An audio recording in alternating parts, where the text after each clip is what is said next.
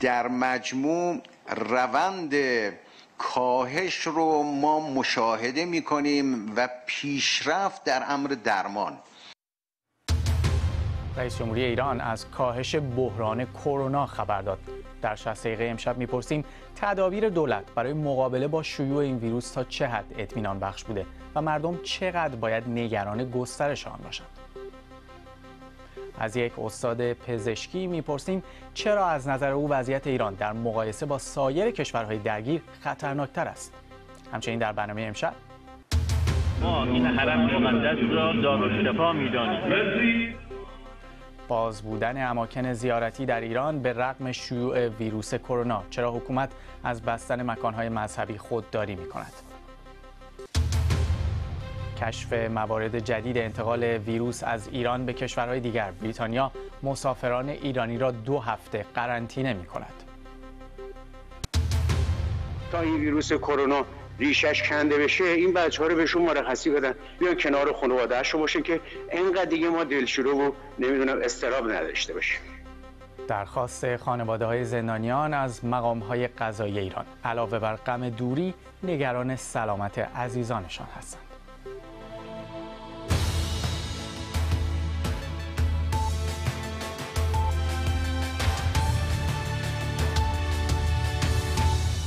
شست دقیقه زنده از بی بی سی در لندن شیوع ویروس کرونا و بیماری ناشی از آن موسوم به کووید 19 در ایران مایه نگرانی جامعه جهانی شده. مسئولان دولتی در ایران می‌گویند تا اینجا 139 نفر به این ویروس مبتلا شدند و 19 نفر جانشون را از دست دادند. آماری که با نسبت جهانی ابتلا و مرگ و میر این ویروس همخوانی ندارد. بسیاری نگرانند که اقدامهای دولت ایران برای مبارزه با این ویروس کافی نیست. امروز حسن روحانی دوباره گفت نیازی به قرنطینه شهرها نیست و قرار است وزارت بهداشت با سنجیدن دمای بدن افراد در ورودی شهرهای پرتردد موارد مشکوک را شناسایی کند.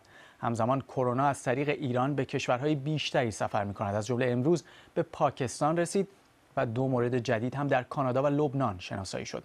همین باعث شده بسیاری از کشورها درباره مسافرانی که از ایران میآیند هشدار دهند. بیشتر در این باره صحبت می‌کنیم. اول گزارشی از فرین آسمی مرجع ما مشخص کردیم. فاضل البته زیاد داریم تو کشور. کنایه حسن روحانی به کسانی که درباره ویروس کرونا اظهار نظر می کند هیچ مرجع دوم ما نداریم. خواهش می‌کنیم مردم رو اونچه واقعیته برای مردم بگن نسخه برای کشور نپیچن رئیس جمهوری ایران در حالی می‌گوید وزارت بهداشت مرجع مطمئن نیست که نحوه اطلاع رسانی وزارت بهداشت درباره ویروس کرونا در ایران مورد انتقاد است حسن روحانی آب پاکی را روی دست همه ریخت و گفت جایی قرنطینه نخواهد شد. مایک پومپو وزیر خارجه آمریکا دیروز از مخفی کردن جزئیات حساس درباره شیوع ویروس کرونا در ایران ابراز نگرانی کرده بود. در مجموع روند کاهش رو ما مشاهده می کنیم حسن روحانی امروز با تاکید بر تحت کنترل بودن شرایط در ایران تلویحا پاسخی به وزیر خارجه آمریکا هم داد. حالا اخیرا یکی از مسئولین رده بالای آمریکا هم راجع به کرونا ایران داره حرف می‌زنه. حالا خودشون اونجا گرفتار کرونا هستن. خودشون تو آمریکا تو آنفولانزا امسال 16 هزار کشته دادن. بنابر آمار وزارت بهداشت از 139 مورد ابتلا به کرونا استان قم با 65 نفر بیشترین موارد ابتلا به ویروس کرونا را در ایران دارد. بعد از آن استان تهران است با 26 مورد و بعد گیلان با 17 مورد. این تصویر نرجس خاندی زاده است پرستار 25 ساله اهل گیلان شاغل در بیمارستان میلاد لاهیجان همکارانش می‌گویند به بیماری کووید 19 ناشی از ویروس کرونا مبتلا شده بود و همه علائم را هم داشته نتیجه آزمایش او هنوز اعلام نشده. نظام پرستاری شرق گیلان گفته علت مرگ این پرستار را پیگیری خواهد کرد. خبرگزاری های ایران از تعطیلی مدارس تا پایان این هفته خبر داده و گفتند احتمالا از شنبه مدارس باز خواهد بود. خبری که بسیاری از خانواده ها را نگران کرده. اما وزیر بهداشت دلیل تعطیل نشدن مدارس را چیز دیگری می‌داند. ما وقتی تعطیلی مدرسه اعلام می‌کنیم وقتی تعطیلی دانشگاه اعلام می‌کنیم به این معنی نیست که همه رو پاشن. اگه کسب آزاد دارند و دولتی ندارند اگر دولتی هستند و می‌تونن با مرخصی حل کنن راه افتن برن مسافرت رئیس سازمان زندانهای ایران هم گفته تا اطلاع ثانوی ملاقات ها فقط کابینی خواهد بود و این کار برای جلوگیری از ورود ویروس کرونا به زندان انجام خواهد شد. به دلیل بسته بودن محیط زندان و تجمع تعداد زیادی زندانی در محیط های کوچک، خانواده های زندانیان نگران ابتلای آنها به ویروس کرونا در زندان هستند. همزمان شرکت هواپیمایی قطر در اطلاعیه گفته مسافران کره جنوبی و ایرانی که به این کشور وارد می شوند اگر علائم کرونا ندارند تا 14 روز خود را قرنطینه کنند و افرادی که علائم ابتلا دارند به مرکز درمانی بروند. در این اطلاعیه آمده که از امروز پروازهای تهران از 20 پرواز در هفته به 7 پرواز کاهش پیدا می کند و پرواز از شهرهای مشهد، شیراز و اصفهان تا دو هفته موقتا تعلیق می شود. ترکیش ایرلاینز شرکت هواپیمایی ترکیه هم تا دو هفته همه پروازها به شهرهای ایران بجز تهران را لغو می کند. شهروندان خارجی که به چین و ایران سفر کردند هم نمی توانند به ترکیه وارد شوند. مترو قلهک روزای دیگه قلقله بود واقعا شاید چنین تصویری از مترو تهران کمتر دیده شده باشد.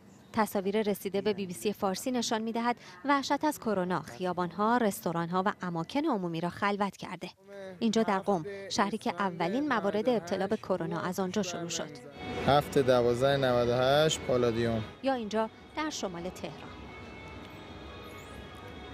سازمان گزارشگران بدون مرز با انتشار بیانیه‌ای به آنچه پنهانکاری درباره همهگیر شدن ویروس کرونا از طرف جمهوری اسلامی و سرکوب اطلاع رسانی مستقل خوانده اعتراض کرده.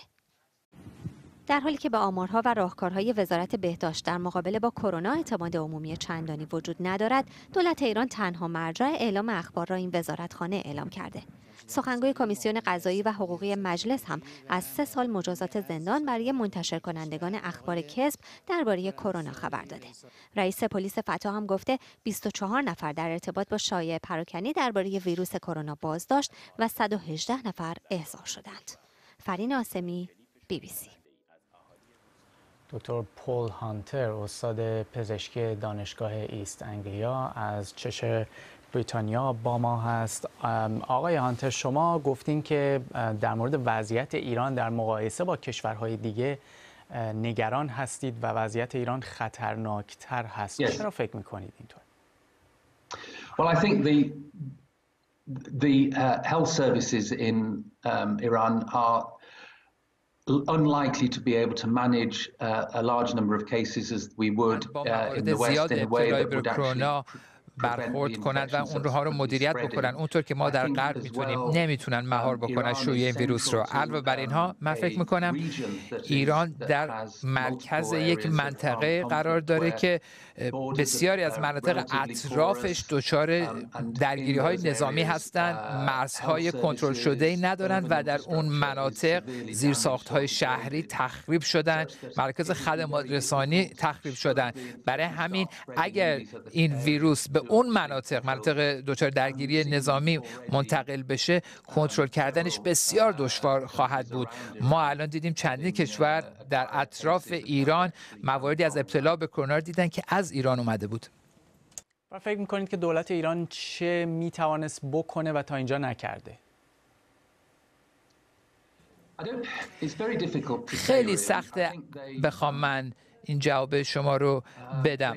من فکر می‌کنم اونها احتمالا اون زیرساخت ها در نظام و سیستم پزشکیشون رو ندارند که بتونن مبتلاها و افراد مشکوک به کرونا رو منزوی بکنن و بهشون رسیدگی های لازم رو بکنن به طوری که این ویروس شیوع پیدا نکنه. اینها رو ندارن و در نبود این گونه امکانات بسیار دشوار هست که بشه اون مراحل ابتدایی چنین اپیدمی رو مدیریت کرد. ایران به لحاظ پزشکی و بهداشتی مثلا در مورد مرگ و میر نوزادان و در موارد دیگه آمار نسبتا خوبی رو داره به خصوص در منطقه و در سطح جهان هم آمار نسبتا خوبی رو داره. چرا فکر می‌کنید که وقتی به این ویروس می‌رسه اونها زیرساخت های مناسب رو ندارن؟ یعنی در مورد این ویروس چه چیزی احتیاج هست که ایران داشته باشه که الان در اختیار نداره؟ من فکر می‌کنم در مراحل ابتدایی شوی یک ویروس شما به اون چیزی احتیاج دارین که بهش میگیم واحدهای پیامد و ویژه بالا بهشون به ما نامگذاری بهشون کردیم. خیلی محیط های کنترل شده هستن.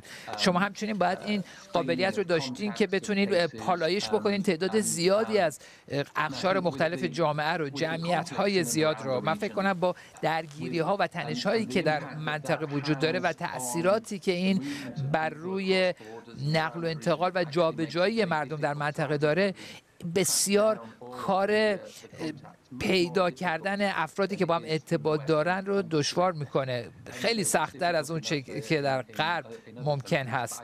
من فکر می‌کنم که مشکل و نگرانی اصلی که شخص من الان دارم این هستش که شیوع این ویروس در ایران آیا منتقل میشه مثلا به مناطقی مثل غزه به یمن یا به شمال سوریه؟ و فکر کنید در اونجا ما ببینیم این ویروس به نحوی اشاعه پیدا بکنه که بسیار جلوگیری و مهارش دشوار خواهد بود. و سازمان بهداشت جهانی چندین بار از چین تشکر کرده و گفته که چین واقعا خوب عمل کرده در رسیدگی به موضوع و کم و بیش می‌بینیم که آمار در چین رو به کاهش است. الان آمار در خارج از چین بیشتر داره افزایش پیدا می‌کنه تا داخل چین. چه درس هایی می‌تونه دولت ایران از چین بگیره و اونها رو بتونه در کشور پیاده بکنه که عملا بتونه از شیوع این ویروس جلوگیری بکنه. من فکر کنم اولین چیزی که ما لازم داره بدونیم اینه که ببینیم بیشتری موارد ابتلا در کجا هست ارتباط اونها در کجا هست آیا گروه از مردم هستن که ما می‌تونیم حرکت اونها رو کنترل بکنیم و اجازه ندیم که با گروه های دیگه در تماس باشن. من بنز کافی راجع به شبکه توزیع این ویروس در سراسر ایران اطلاعی ندارن که به شما به که به شما توضیح جامعه بدن. و به حال اصلا فکر کنم دیر شده. الان شما نگاه بکنید به نسبت موارد فوتی و موارد ابتلا به کرونا این رو به ما میرسونه که خیلی افراد دیگه هستند که مبتلا شدن و مقامات ایرانی نمی‌دونن که این تعداد چقدر هستند و این با وضعیت چین فرق داره. بنابراین معتقدید که در همون ابتدا میبایست کار قرنطینه شهر قم که مرکز شیوع این بیماری بود انجام می‌شد.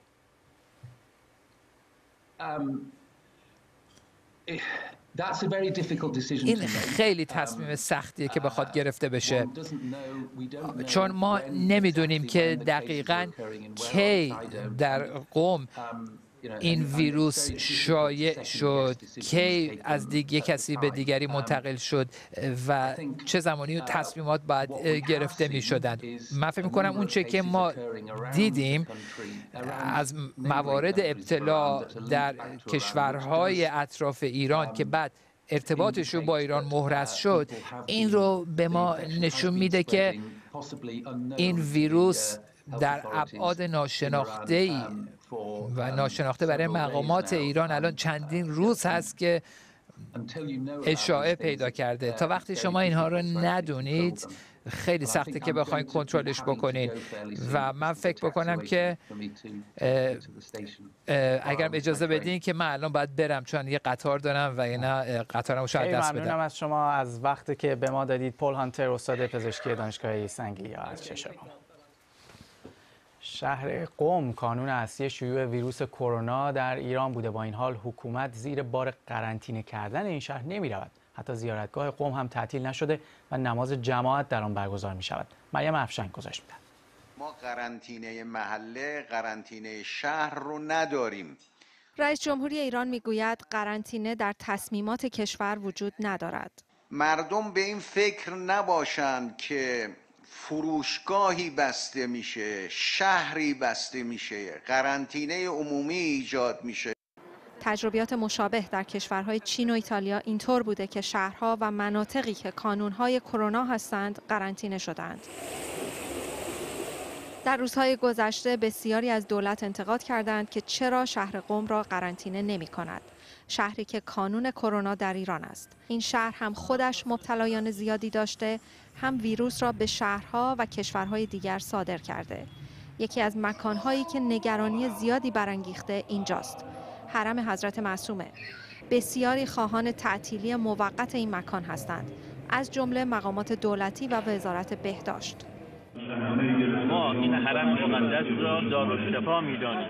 بعضی اشخاص نگاه می‌کردید کنار باشداده بودن دستمالش من دود دیدم خودم. دستمال در ارده بود زریح متحد گذاشت شروع کرد به زیارت فرزد اینجوری؟ بی چقدر بی ادبیه به ساحت مقدس حضرت معصوم اسلام اظهار نظرهایی از این دست باعث شد که با وجود مصوبه شورای تامین استان قم نماز جماعت در آن برگزار شود. وبسایت آستان حضرت معصومه با انتقاد از مصوبه شورای تامین استان قم نوشته اقدام و تجویزی که ناشی از عدم شناخت دقیق ساختارهای اصیل ایمانی تمدنی جهان اسلام است ساختارهایی که از چند دهه قرن گذشته از سوی عالمان و فقهای خاصه شیعه برای تطهیر و حراست از بیماری های واگیردار در اعتاب مقدسه به کار گرفته شده است.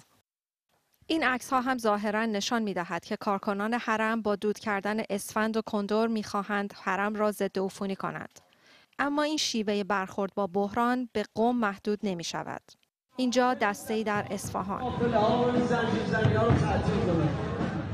درود به غیرت و شرف زن ما صاحب اینجا هم مشهد دوشنبه شب و به مناسبت حلول ماه رجب. البته اختلافاتی هم بین افراد مذهبی وجود دارد. به خاطر ویروسی که الان وارد شده و متاسفانه همه رو نگران کرده و به خاطر این ما صلاح دونستیم که تا مدتی جلسه هیئت محترم مکتب مسلم تعطیل باشه و به خاطر تعطیل کردیم که حفظ جان واجبه. و نبستی همه چه سرسری بگیریم. بعضی ایراد گرفتن که یعنی چرا شما تعطیل کردید؟ و شما نمیگیم ما طالب شهادت هستیم. بله ما طالب شهادت هستیم. شهادت کجا؟ به چه نحوی؟ هر روز به تعداد قربانیان ویروس کرونا در ایران اضافه می شود. حتی بعضی از مقامات هم مبتلا شدند. با این حال حکومت می‌گوید که وضع آنقدرها هم بد نیست.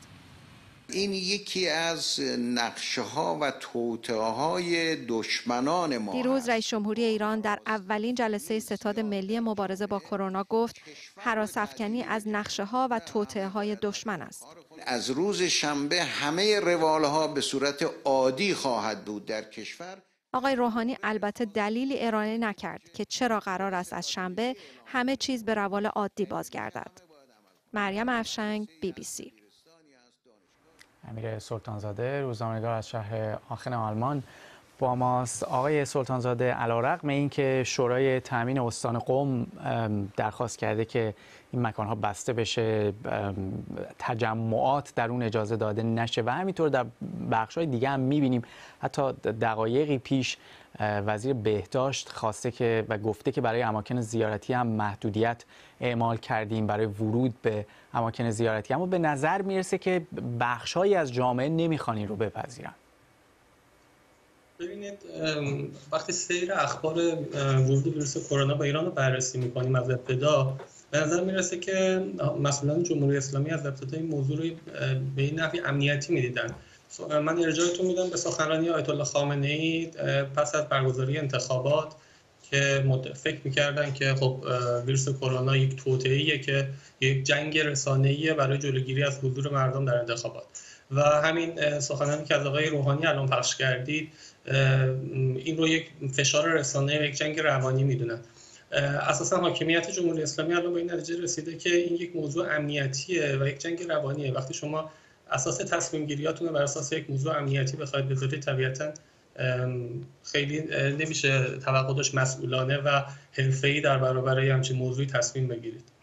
ولی عملا اکثریت مردم چنین نگاهی ندارند برای اینکه اونها هستن که دارن بیمار میشن گرچه خود مسئولان هم دارن بیمار میشن و عملا آمار تلفات هم اگر این آماری که ایران داره اعلام می‌کنه درست باشه در مقایسه با بقیه جهان نسبتا بالاتر هست.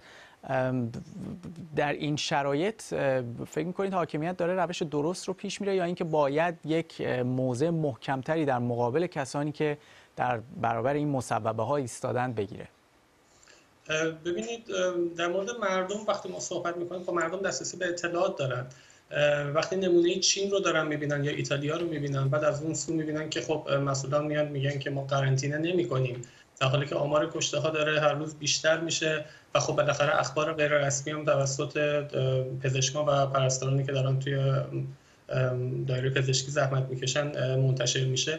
به نظر می‌رسه که خب عدم اعتماد عمومی هم به این موضوع خیلی مهمه. مردم اعتمادی به انتشار اخباری که توسط رسانه های منتصب به دولت هست ندارن و اخبار از بیرون پیگیری می‌کنن. و خب طبیعتا وقتی شما می‌بینید که در چین یا ایتالیا به عنوان دو کشوری که از پتانسیل قوی پزشکی و زیرساختهای قدرتمندی هم برخورده هست شهر قرنطینه میشه و این موضوع بسیار جدی تلقی میشه و در برابرش می‌بینید که معاون وزارت بهداشت که میاد به مردم دلداری میده و ابراز می‌کنه که خب شرایط خیلی حالت عادیه و هیچ مشکل نیست و خود این فرد فرداش کرونا می‌گیره و مجبور به قرنطینه کردن خودش میشه این موضوع خب طبیعتا اعتماد عمومی رو کاهش میده و توقع حداقل توقع اینه که مسئولان جمهوری اسلامی نسبت به این موضوع یک بار هم که شده غیر امنیتی برخورد بکنن. ما در مورد همه مسائل می‌بینیم که مسئولان ما در کشور ایران مسئولان در کشور ما سعی می‌کنن که موضوع به شکل امنیتی مواجه بشن. باشه خیلی خطرناکه. یعنی ساده ترین موضوع مثلا موضوعی مثل این قضیه که با جان مردم سر و کار داره خیلی بهتر بود که ما می‌تونستیم از مشورت بالاخره نهادهای بین المللی یا تجربه‌ای که در چین اجرا شده استفاده می‌کرد به نظر می‌رسه که البته چین تا حدودی داره به ایران کمک می‌کنه به خصوص در تامین کیت های کرونا اما هنوز سازمان های بین خبری نیست از اینکه اونها به کمک ایران آمده باشند یا اینکه ایران از اونها درخواست کرده باشه که کمکی ازشون بگیره. اما فکر می‌کنید که ممکنه در طول روزهای آینده شرایط طوری پیش بره که مسئولان در ایران به این نتیجه برسند که باید این کار رو انجام بدن؟ ببینید فشار افکار عمومی الان برای دولت و مسئولان بسیار زیاد شده. خب ما هر روز می‌بینیم که آمار کشته ها تلفات داره میره بالا و موضوع جالب که از میان خود مسئولان هستند. کسانی که هر روز جلوی دوربین و جلوی تریبون قرار می‌گیرن و به مردم میگن که هیچ موضوع خاصی نیست و هیچ مشکل خاصی پیش نیامده همون آدم ها تست کروناشون مثبت اعلام میشه. و خب چطور میشه به همچین فردی که جلوی دوربین نشسته و میگه که من کرونا هیچ مشکل خاصی نیست خودش کرونا می‌گیره؟ یعنی خودش هم نمی‌تونه یعنی اینقدر دانش کافی رو نداره که بخواد از خودش محافظت کنه. چطور میشه به نظر این فرد اعتماد کرد؟ طبیعتا امید ما حداقل می‌تونیم بگیم که ما امیدواریم که از تجربیات چین استفاده بکنن. به نظر می‌رسه چین تونسته این موضوع رو مهار بکنه و قرنطینه کردن شهر قم که حداقل درخواست بود یا حداقل تعطیل کردن موقتی اماکن زیارتی. این چیزی بودش که توقع حداقلی حتی برخی از روحانیون و اخشار مذهبی جامعه بودش. به خاطر اینکه به نظر این تاثیر منفی روی همه حتی مسائل ایدولوژیک جامعه هم خواهد گذاشت اگر نتونن اینو مهار بکنن. ممنونم از شما های سلطانزاده امیر سلطانزاده روزنامه‌نگار از شهر آخما اما از شما خواسته بودیم مشاهداتتون رو از شهر و محل کارتون برای ما بفرستید. چند تا از اونها رو که مخاطبان ما روی صفحات اجتماعی برای ما فرستادن رو با هم بشه هفت اسفند 98 مو هم توش بر نمیزن حدود ساعت پنج بعد از با سلام. من کارمند شرکت ایران خودرو هستم و مشاهدم از این موضوع اینه که دم در ورودی یا و همون حراست. یک نفر واسطه و با این دستگاه تبسنج میزان تبتون اندازه می‌گیره و اگر میزان تب شما بالا باشه به هیچ عنوان اجازه تردد به شما نمیدن و پیشنهاد می‌کنن که شما رو شما به مراجع پزشکی حتما مراجعه کنید و بعد از اون مرحله وقتی که می‌خواید دوباره از همون از همون گیت ورودی وارد وارد بشید با یه سری اسپری ضد کننده و یه سری پدای الکلی که اونجا گذاشتن شما می‌تونید بردارید یه به هر تعدادی که مثلا مورد نیازتونه که بذارید داخل جیبتون از این که استفاده کنید. و وقتی که وارد داخل سازمان فروش خود ساختمان سازمان فروش میشید دیگه اتاقای کارمندا که قبلا همه راحت می‌تونستن به مراجعه کنن داخل اتاق دیگه در اتاق رو تقریبا بستن یا چیزی گذاشتن که نشه وارد اتاق شد. و اگر کاری داشته باشید می‌تونید می‌تونید مثلا کارتون رو همونجا دم در بذاری کارمند میاد خودش برمیداره. هفت دوازده 98 پالادیوم.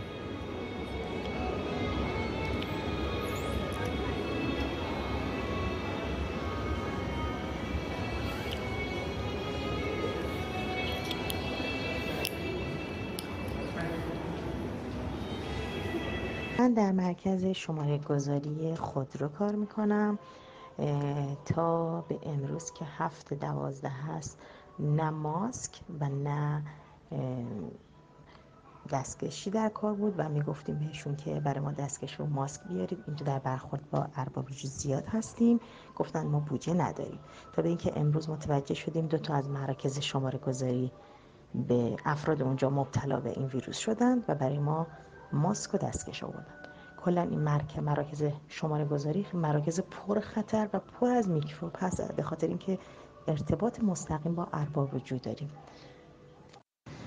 سلام من چه تهران توی شرکتی تو حوزه برنامه نویسی کار می‌کنم و کارمون معمولا اینطوریه که به طور مستقیم با مشتریمون در ارتباط نیستیم ولی بازم بین خودم همکارام این جو نگرانی از ویروس وجود داره. یعنی قشنگ توی کار میشه کرد همه دائم سعی می‌کنن دستشون رو بشورن. بعضی از ماسک استفاده می‌کنن ژلای ضد عفونی کننده کلا همه اون جو نگرانی رو دارن با وجود اینکه خیلی با افراد خارج از شرکت در ارتباط نیستیم. با دوستانم هم که صحبت کردم اینطوریه که اکثرا سعی کردن که تیم فنیشون رو به صورت دورکاری مشغول کنن از خونهشون کار می‌کنن.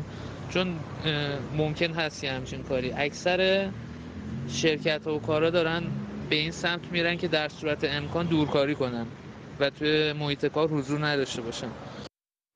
صحبت های تعدادی از مخاطبان ما بود که از نگرانی خودشون از ابتلا به ویروس کرونا گفته بودن. امروز هم حسن روحانی صحبت کرد در جلسه هیئت دولت و او هم آنجا گفت که ترس از کرونا از خود کرونا بیشتر قربانی گرفته. هشدار داده آقای روحانی در درباره اینکه از این ویروس نباید ترسید. بخشای از صحبت های آقای روحانی رو بشنوید مسئله مهمتر از مسئله ویروس کرونا ویروس ترس و استراب و تردید و بیاعتمادی در میان مردم. این ویروس بدتر از اون ویروس هست. متخصصین ما بیان واقعیت ها رو به مردم بگم برای مردم توضیح بدن استراب مردم و ترس مردم در حد لازم باشه. وقتی اضافه میشه خودش خطرناکه خودش می‌تونه مشکلات دیگری رو درست کنه. حسن روحانی بود اما دکتر ارکیده بهروزان پزشک و استاد مردم شناسی پزشکی دانشگاه سواز لندن از بوستون آمریکا با ماست. خانم دکتر بهروزان روزبهان معذرت می‌خوام. آثار تحقیقی روی سلامت روان در ایران منتشر کردن و همینطور تحقیق داشتن در مورد تاریخچه ویروس HIV در ایران. خانم بهروزان ممنون که وقت به ما دادید. شما در مورد وقتی که در مورد ویروس اچ و اینکه دولت و مسئولان چطور با این ویروس مواجه شدند آیا چه تشابهاتی می‌بینید بین مواجهه مسئولان با اون این ویروس در یک دهه پیش و حالا با ویروس کرونا. با سلام به شما و بینندگان عزیزتون. نکته که خیلی مهمه در این مقایسه همچون که شما اشاره کردید مثلا با بیماری اچ اینه که ما اینو بدونیم که بیماری های همهگیر و اپیدمی ها هیچ وقت تنها یک امر بیولوژیک نیستن و اموری اجتماعی سیاسی تاریخی هستند و اون نمود و بروزشون ظهورشون سیاست گذاری های ما و حتی رفتاری که در مقابلشون نشون میدیم مثل پنهانکاری بسته به اون بستر اجتماعی داره و در هر بستر اجتماعی اینا نمود و بروز متفاوتی پیدا می‌کنن چه از لحاظ اجتماعی و چه از لحاظ بیولوژیک. به همین خاطر یک نگاه تاریخی به گذاری های بهداشتیمون خیلی مهمه در درک شرایطی که الان توش هستیم که هم شباهت ها رو ازشون درس بگیریم هم تفاوت ها رو. من قبل از اینکه به HIV اشاره کنم دارم می‌خواد این رو بگم که توی سیاست گذاری های بهداشتی بعد از انقلاب ما یه سری موفقیت های چشمگیر داشتیم. یک سری هم شکست های چشمگیر داشتیم. و اگه بخوایم این رو مقایسه کنیم ببینیم امروز چه اتفاقی افتاده که ما در این موقعیت قرار گرفتیم. اینو می‌بینیم که توی نقطه های موفقیت توی اون success ها مثل ریشهکن کردن فلج اطفال در ایران مثل سیاست گذاری های تنظیم خانواده و پیشگیری از بارداری کنترل جمعیت مثل ایجاد خانه های بهداشت در روستاها و تعمیم بهداشت اولیه به مناطق روستایی. توی تمام اون اتفاقات ما می‌دیدیم که یک کادر متخصص بهداشتی یک کادر پزشکی بسیار کارآمد. آمد همسو شد با ارزش های انقلابی جامعه محور و بعضا پراگماتیسم یا حتی بلند پروازی های علمی تخصصی تکنولوژی که بدن بخشی از بدنه حکومت. و اینا با هم همسو شدن و تونستن کارهای چشمگیری رو رقم بزنن. و انقلاب ما می‌بینیم که یک تمرکز عجیبی هم رسانه ها روی مسئله سلامت پیدا می‌کنن. بعد حالا برگردیم به این موضوعی که الان این پنهانکاری رو بخوایم نگاش کنیم. باز این اولین بار نیست که ما یک, یک چالشی داریم در اینکه چی رو باید مطرح بکنیم و چی رو باید مطرح نکنیم برای مردم. مقایسه تاریخی باز وجود داره با قضیه HIV ایدز برای اینکه وقتی که در سال 1986 اولین مورد HIV ایدز در ایران در یک کودک شناسایی شد ما حدود یک دهه بعدش هنوز با انکار سیاستگزاران روبرو بودیم. و این انکار حتی در حدی که آموزش عمومی در رسانه ها ذکر نام HIV ایز یا ذکر مسئله پیشگیری یا مسائلی که به پیشگیری ربط داشت در رسانه ها ممنوع بود این پنهانکاری بسیار ایدولوژیک بود در اون زمان. به همین خاطر رایزنی های فرهنگی مذهبی که پزشکان و کادر بهداشتی با مرجعیت و با حکومت کردن در طی یک دهه نتیجهش این شد که ما تونستیم یک سیاست گذاری هایی رو بهش دست پیدا کنیم که در سال 2004 سازمان بهداشت جهانی اون رو best practice می‌خونه و حالا اینکه بعدا چه بلایی سر اون سیاست گذاری اومد بحث دیگری است. ولی نکته اینه که اینها خواسته هاشون با هم همسو بود و متخصصین هنوز یک جایگاهی در سیاست گذاری می‌تونستن با رایزنی هایی داشته باشن. در لحظه ای که ما ویروس کرونا رو داریم در موردش پنهان کاری رو نگاه می‌کنیم ما با بستر اجتماعی بسیار متفاوتی روبرو هستیم. اولا همونطور که قبلا هم ذکر شده ناکارآمدی و سوء مدیریت یک نسلی از تصمیم گیران حکومتی که برخلاف اون تصمیم گیرانی که ارزش های انقلابی جامعه محور داشتن ارزش های نئولیبرال دارن ولی تخصص لازم برای اون بلند پروازی های علمی و تکنولوژی رو ظاهرا کم دارن. و دو بحران مهم ما الان داریم. یکی بحران مشروعیت و عدم اعتماد عمومی. به هر نوع اطلاعی که الان از طرف حکومت بیاد. به خصوص وقتی که زخم و خاطره پنهانکاری در رابطه با تعداد کشته شده های اعتراضات آبان ماه در رابطه با منهدم کردن هواپیمای اوکراینی در رابطه با قطع اینترنت در کشور اینا هنوز خیلی زخماش تازه است و این بحران مشروعیت ایجاد می‌کنه. و در فضای روانی جامعه خیلی اثر می‌ذاره و دومین بحران هم بحران تخصصه. شاید بشه این رو به نوعی میراث دراز مدت انقلاب فرهنگی هم دونست ولی به تدریج ما می‌بینیم که در طی چهار دهه متخصصین درجه یک متخصصینی که باید در لحظه های تصمیم گیری و سیاست گذاریش باشن به تدریج از صحنه سیاست گذاری حذف شدن و به حاشیه رونده شدن. مثلا در مورد ویروس کرونا ما می‌بینیم که به کرات این توصیه هایی که متخصصین داشتن برای قرنطینه برای انجام پروتکل های اولیه نادیده گرفته شد. و اینا همه منجر به یک سوء مدیریت استراب عمومی میشه. حالا اینکه در مورد این مدیریت این استراب اگه بخوایم صحبت کنیم من همچنین قطع می‌کنم صحبت. خب وقتی صحبت از کارکرد رسانه ها کردید به نظر می‌رسه که رسانه ها در داخل ایران شبکه خبر و شبکه های دیگری که هستن تمام تلاششون در راستای همون چیزی که آقای روحانی چند دقیقه پیش گفت. یعنی اینکه ترس رو برطرف کنند بگن اتفاقی نیفتاده این ویروس آنقدر هم کشنده نیست. فکر می‌کنید که عملا رسانه ها به کارکرد خودشون یا اون وظیفه که داشتن به درستی عمل کردن یا نه؟ ببینید من خوشحالم شما رسانه رو ذکر کردید به خاطر اینکه سبای شبکه های خبری که خب وظیفهشون اطلاع رسانیه ما یک شبکه 24 ساعته در کشور داریم به نام شبکه سلامت که برنامه های بسیار مفید بعضا مفید در رابطه با سلامت داره پخش می‌کنه.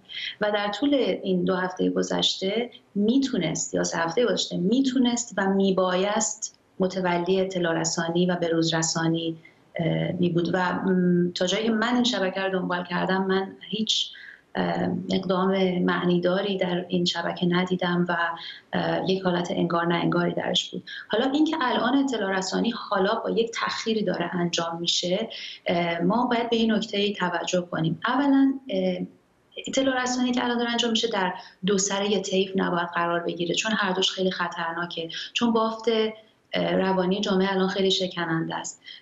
ببینید مدیریت استراب بحران و مدیریت بحران دست در دست هم باید صورت بگیرن و هر دو کار تخصصی هستن. من باز برمیگردم به بحران تخصص برای اینکه باز ما کار رو به کارآمد نسپردیم در این زمینه هم.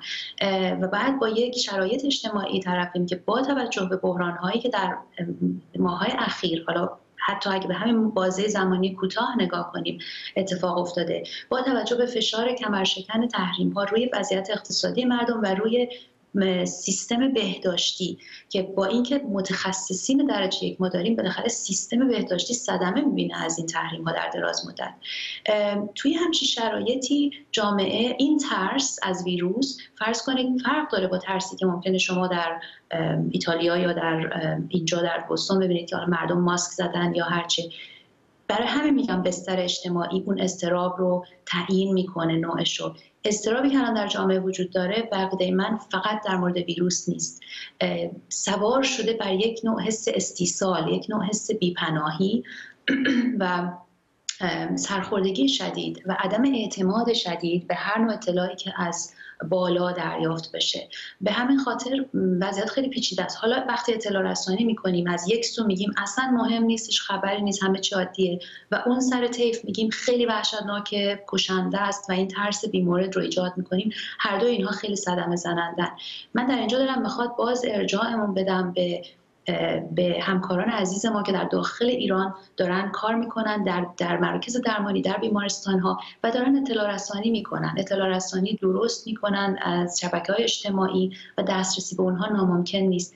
فکر می‌کنم اون اطلاع رسانی الان خیلی قابل اعتمادتر از دید عمومی هست تا اطلاع رسانی که رسانه ها دارن می‌کنن. یه نکته خیلی مهم دیگه اینه که این مدیریت استراب متاسفانه به جای اینکه برخورد تخصصی باهاش بشه برخورد بسیار غیر تخصصی و سیاست زده باش شد. به خاطر اینکه پنهانکاری در مورد کیس های جدید بیماری در پیش از انتخابات خب مسئله خیلی مهمی بود به خاطر اینکه نگرانی از مشارکت عمومی در انتخابات. و بعد اهمیت استراتژیک شهر قوم به عنوان یک قطب زیارتی با گردش بسیار بالای زوار داخلی و خارجی. اینا همه مانع این شد که ما بتونیم با یک نگاه تخصصی بریم و اقدامات اولیه رو انجام بدیم. حالا نکته که خیلی مهمه در این مورد اینه که قدم اول و این حرفی که زده شده و ممکنه معناش کم کم داره از دست میده. ولی قدم اول اعتماد سازی قدم اول یک نوع شفافیت که از هر جایی هم شروع بشه باز دیر نیست. به هر حال این اطلاع رسانی باید انجام بشه. اطلاع رسانی که باید از مسائل سیاسی جدا بشه. و باز تاکید می‌کنم این بحران مشروعیت بحران اعتماد عمومی روی یک بستری از زخم خوردگی روانی سوار شده که ممکن تبعات بسیار طولانی داشته باشه و من بیشتر نگران اون هستم. به نظر من این چیزی که الان وقتی ما تو شرایط بحرانی قرار می‌گیریم به اون تبعات دراز مدت طبیعتا کمتر فکر می‌کنیم. ولی ما باید فکری هم به حال تبعات دراز مدت این حراسی که در جامعه افتاده و حس بیپناهی حس ناامیدی حس اینکه جان ما در هیچ کجای این اولویت ها لحاظ نشده. این حتی اگه درست نباشه برداشتیه که در جامعه ایجاد شده کما بیش و باید باید باهاش برخورد بشه. ممنونم از شما ارکیده بهروزان پزشک و استاد مردم شناسی پزشکی دانشگاه سوئزلند مرکز بهداشت عمومی بریتانیا اعلام کرده مسافرانی که از ایران وارد این کشور می‌شوند باید دو هفته قرنطینه شوند حتی اگر علائم ظاهری ابتلا به ویروس کرونا را نداشته باشند. این مرکز به مدارس بریتانیا هم گفته دانش آموزانی که اخیرا به کشورهای منشأ ویروس از جمله ایران سفر کردند باید در قرنطینه بمانند. جزئیات بیشتر در گزارشی از آنایتا شمس. مسافرانی که از ایران به بریتانیا سفر می کنند باید خود را برای دو هفته در قرنطینه آماده کنند. تمام مسافرانی که از ایران و بخشهایی از ایتالیا به بریتانیا می آیند باید دو هفته در قرنطینه بمانند چه دارای نشانه های بیماری باشند و چه نباشند پیشتر این توصیه رسمی برای مسافرانی بود که از شمال ایتالیا، کره جنوبی و چین به بریتانیا می آمدند. حالا ایران هم به این فهرست اضافه شده. این کشورها بیشترین شماره مبتلایان به ویروس کرونا و سریعترین روند ابتلا را دارند. دانش آموزانی که برای تعطیلات میان ترم به یکی از این کشورها سفر کردند باید برای دو هفته در قرنطینه باشند. همینطور اگر اعضای خانواده آنها با کسی که در چند هفته گذشته از این کشورها به بریتانیا آمده تماس نزدیک داشتند باید خود را قرنطینه کنند. روز گذشته مدرسه خصوصی در بریتانیا شاگرد ایرانیش که در تعطیلات به ایران سفر کرده بود را به خانه برگردانده و از همه خانواده ها خواسته تا برنامه سفرهای آیندهشان را هم با مدرسه در میان بگذارند. جان سنو یکی از خبرنگاران و مجریان تلویزیون شبکه چهار بریتانیا که هفته پیش برای تهیه گزارش به ایران رفته بود پس از بازگشت خود را در خانهاش قرنطینه کرده است. برای اینکه در چهار پنج روز گذشته ایران بودم الان خودم رو قرنطینه کردم و نباید جایی که مردم هستند و شلوغ هست برم. با اینکه در زمان اقامتم در ایران به مناطقی که این بیماری بیشتر دیده شده نرفته بودم ولی با این حال برای دو هفته در قرنطینه خواهم بود. هیچ نشانه ای از بیماری هم ندارم و خب در خونه موندن برای آدمی مثل من سخت و خسته کننده است ولی چاره ای نیست و فعلا در خونه میمونم. در چندین مدرسه در بریتانیا موارد مشکوکی از ویروس کرونا دیده شده که در نتیجه گروهی از دانش آموزان و کارکنان مدرسه برای دو هفته به خانه فرستاده شدند. بیشتر این افراد کسانی بودند که برای تعطیلات به شمال ایتالیا سفر کرده بودند. حراس از انتشار ویروس کرونا از طریق مسافران ایرانی با نزدیک شدن تعطیلات نوروزی بالا می‌گیرد. چه برای مسافرانی که به شهرهای داخلی سفر می کنند چه آنها که از ایران خارج می شوند. آنایتا شمس بی بی سی. اما دقایقی پیش از قول سعید نمکی وزیر بهداشت در آخرین تحولات مربوط به شیوع ویروس کرونا گفته شده که نماز جمعه به مدت یک دوره در شهرهایی که آلوده تشخیص داده شدند برگزار نخواهد شد. دانشگاه های دولتی و غیر دولتی به مدت یک هفته تعطیل خواهد بود. البته اینا تصمیم های مقطعی هست و ممکن هست که تغییر بکنه. اما در پی شیوع ویروس کرونا چین و ایتالیا چندین شهر رو قرنطینه کردند. اما چنانچه گفته شد دولت ایران با قرنطینه کردن کانون‌های انتشار ویروس در این کشور مخالف است. خشایار جنیدی گفتگویی داشته با دکتر امیر افخمی استاد دانشگاه جورج واشنگتن و از او درباره موضوعیت قرنطینه در دنیای امروز و تناقض بعضی از باورهای عمومی با راههای علمی مقابله با ویروس کرونا سوال کرد. Uh, quarantines are very important in disease control and slowing transmission.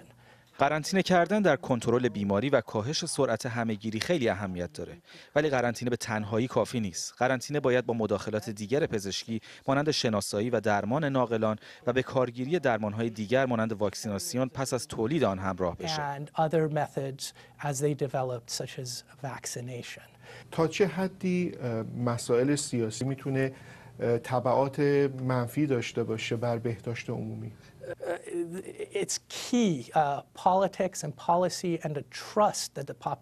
سیاست و سیاست گذاری و اعتماد عمومی مردم به حکومت در کنترل شیوع بیماری اهمیت کلیدی داره.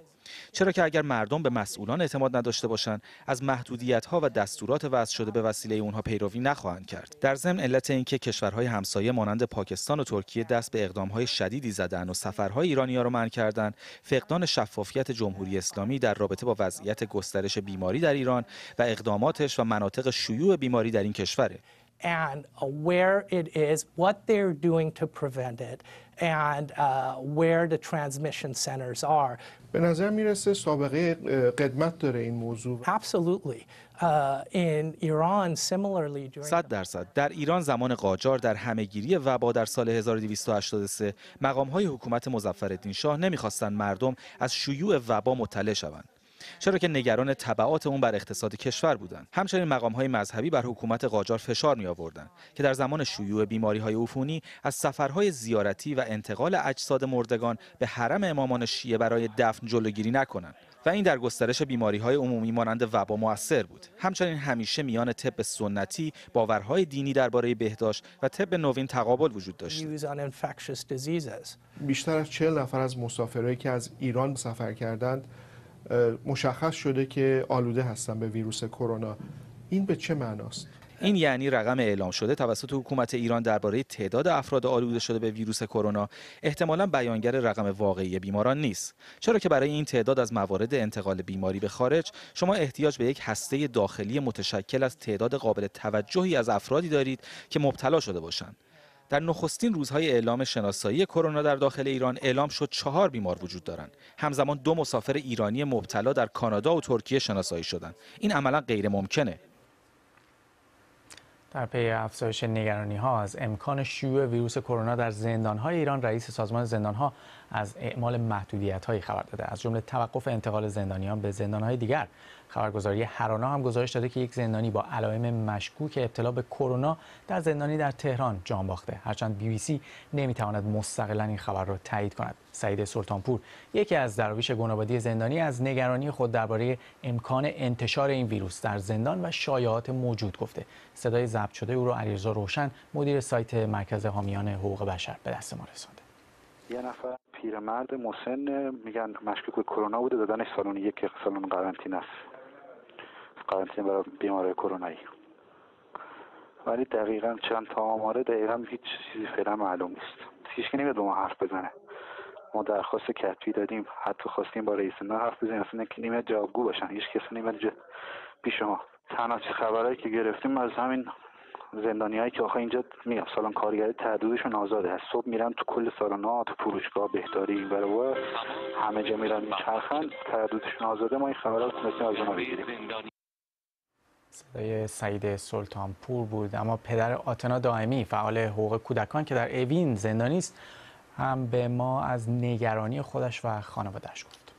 آتنا زنگ زده امروز که من خیلی نگرانی نگران بودم یعنی نگران حالش بودم و نگران حال دیگر بچه ها بودم. بهشون گفتم که چه امکاناتی بهتون دادن؟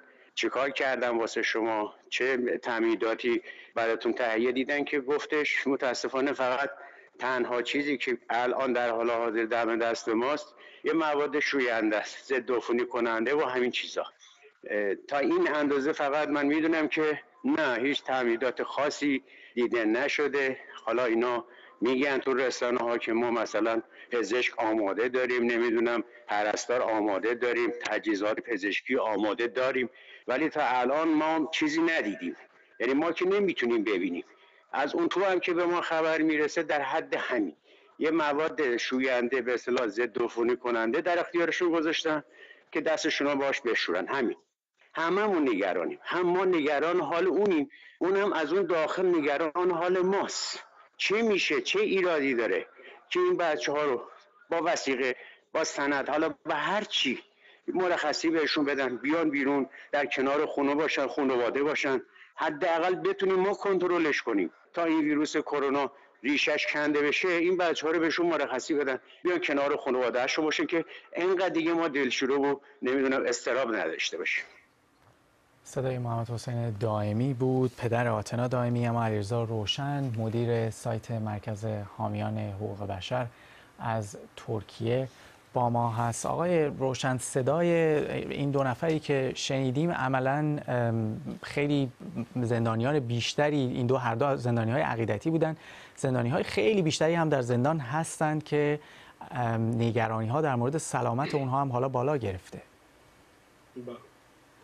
ببینید آقای اسقر جهانگیر که رئیس سازمان زندان ها امروز در نشست سراسری ستادی و استانی زندان های کل کشور گفتند که حفظ سلامتی و حفظ جان بیمار برای ما اولویت داره.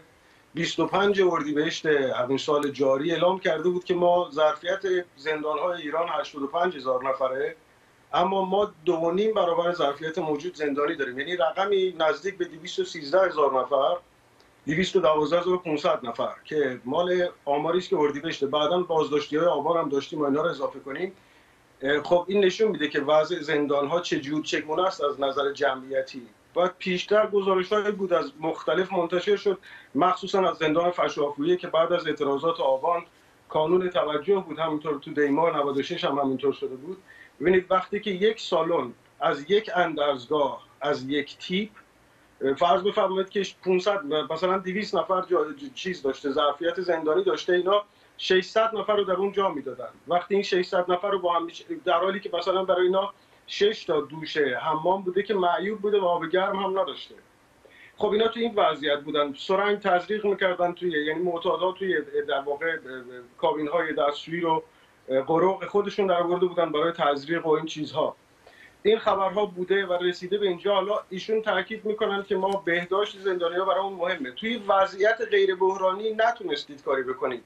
توی این وضعیت فعلی چه کاری از دست شما برمیاد؟ تو همین voice سعید سلفونز که دست شما رسید اعلام می‌کنه پیرمردی رو بردن توی سالن یک و اونجا قرنطینش کردن. حالا ما دسترسی نداریم نمی‌دونیم حالا. به هر تقدیر اینا امروز هم علاوه بر سالن های یک و 15 زندان مرکزی کرج که قرنطینه کرده بودن امروز خبر رسید که سالن ملاقات حضوری رو هم تبدیل کردن به قرنطینه. خب این خودش در جو نگرانی ایجاد می‌کنه در زندان. و اینها نگرانن. حالا ببینید چجوری اینا رو کنترل می‌کنن. صبح پنج یعنی صبح پنج اسفند میگن که معاونت بهداشت سازمان زندان ها دستورالعمل داده که باید قرنطینه ساخته بشه. اینا رو ناگهان بدون هیچ برنامه ریزی قبلی بدون که بگن جمع می‌کنن می‌برن. این حالا جو یکی از این هشت درویشه آقای سلطانپور که توی زندان مرکزی کرج هستن. اینا رو الان سه روز نگه داشتن توی یک سلول انفرادی توی مجموعه بند کارگری با وسایلشون. سلول انفرادی شش متر جا داره. اینا سه روزه که هواخوری ندارن و برای اینکه زندانیا نتونن به اینا خبر برسونن و بیرون بگن اینا رو به این شکل در واقع خبری بنابراین, بنابراین شما همه اینها رو نشانه ای از این می‌بینید که کرونا پاش باز شده به زندان ها ببینید هم ببینید دکتر خب اینا که دولت ایران حکومت ایران دیر اعلام می‌کنه. شما قم عجیب بود که زندان قم در میان حجم اخبار نگران کننده ای که از کرونا می‌رسید فراموش شد. امروز خبر رسید به ما که البته نمیشه تایید کرد اینا رو واقعا چون ما چگونه می‌تونیم تایید کنیم؟ اما اگر نگیم هم یک جور اهماله چون درصدی از در واقع تایید رو باید همیشه در, در نظر داشت. گفتن که پنج ببینید درویشای گروپادی رو بعد از اینکه از پشافوی منتقل می‌کنن توی زندانان مختلف میفرستن. زندان شیراز زندان بوشه خرم آباد زندان بروجرد زندان مشهد زندان لنگرود قم هم فرستادن. درویشی که در زندان لنگرود قمه تماس گرفته با خانوادهش خبر داده که پنج نفر مبتلا به کرونا اونجاست. خب این نزدیک قوم قوم آمدن نمی‌دونستن. وقتی اعلام نکردن از کجا معلوم که یک فرد مبتلا به زندانیش مراجعه نکرده باشه یا ملاقات نکرده یا یک بازداشتی جدید رو به زندان نبرده باشن یا یک فرد زندانی رو برده باشن بیمارستان و گرفته باشه. اینها همش نتیجه اطلاع یعنی اطلاع رسانی نمی‌کنن. ببینید آقای حریرچی به نماینده قوم میگه که ما 14 تا داریم. چرا میگه 50 تا؟ این میگه که من آمار میدم تو استعفا بده. این میگه که باشه تو آمار بده ولی چجوری می‌تونی ثابت کنی که اینا کرونا دارن؟ الان مثلا میان انکار می‌کنن میگن اونی که تو زندان مرده کرونا نداشته. یک مرگ دیگه بوده. چجور میشه واقعا قبول کرده از آدمهایی که برای موجوداتی که بیرون از زندانن انکار می‌کنن بپذیرن که توی زندانی بر اثر کرونا مرده؟ پرونده ها اینا رو می‌تونن باطل کنن؟ می‌تونن نشون ندن می‌تونن اینا رو خاک کنن اینا ببینید اینا همش نگرانی هایی که ناشی از عدم اطلاع رسانی بله. خودشونه در همین بله. ببخشید وقت بیشتری نداریم آقای روشن رضا روشن مدیر سایت مرکز حامیان حقوق بشر با ما در غرب ایران بارندگی های شدید دو روز گذشته در استانهای لرستان، کرمانشاه و ایلام حالا کمتر شده اما سیلاب در بسیاری از شهرستانها و روستاهای این سه استان مخصوصا لرستان به مناطق مسکونی و تجاری آسیب زده و راه های ارتباط آنها با یکدیگر را قطع کرده. در این شرایط امدادرسانان به کمک سیل زده ها رفتند. سیاوش اردلان گذاشت میدن رودخانه کشکان همچنان خروشان است ولی خطر تقیان از بین رفته و اینجا در خرم مردم می توانند نفس راحتی بکشند. از مناطق بالادستی خرم تا مسیر این شهر به اندیمشک آثار ویرانی های برجامانده از خروش کشکان همه جا دیده می شود اینجا پل دوآب ویسیانه. مخصوصا پل های قدیمی یا بازسازی شده که مردم لرستان در سیل فروردین ماه امسال شاهد تخریب آنها بودند. آنگونه که این خبرنگار تلویزیون ایران روایت می کند ارتفاعش بالاتر برده نشد و این بار هم تو این سیل همینطوری که می‌بینین پل دوباره تخریب شد. راه ارتباطی روستاهای اون سمت رودخانه قطع شده و مردم دوباره به زحمت افتادند و اینطور بیت المال ما دوباره هدر رفت. حدیث تلخ توسعه بی برنامه در لرستان پلهای دیگری را اندکی پایینتر به سمت شهرستان معمولان تعمه سیل کرد. اینجا روستای چمکبود گابزرده شهرستان معمولان. همون پلی که بعد از سیل فروردین ماه تخریب شد و مجدد درست کردن دوباره اما وقتی گوینده این فیلم را می‌گرفت هنوز پل سر جایش بود.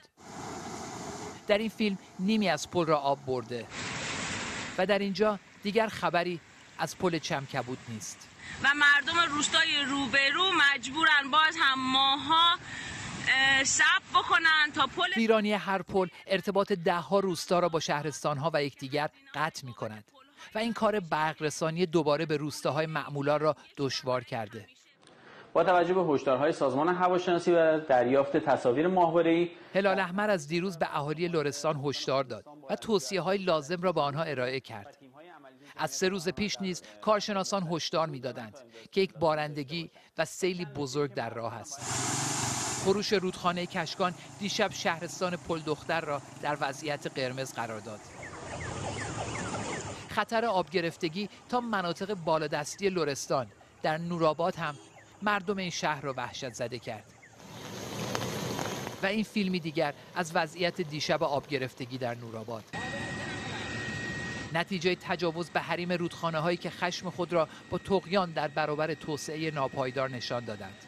فرار مردم وحشت زده روستای چندمهر به پشت بام هایشان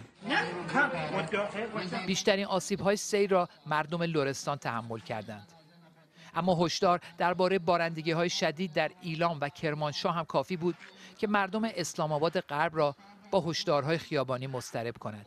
نسبت تخلیه منازل خود اقدام در عین این صورت هر گونه عواقب بعدی آن به متمردی می باشد تا این لحظه از شدت بارندگی ها کم شده و خطر از سر خورم آباد گذشته.